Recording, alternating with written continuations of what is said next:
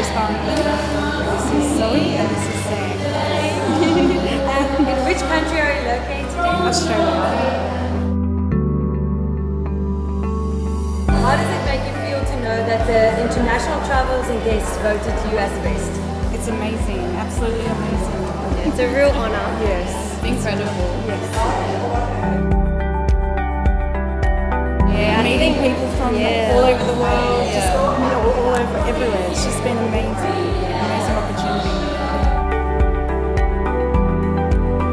want to thank the staff. They are absolutely amazing, and we wouldn't be here if it wasn't for them. Thank you so much.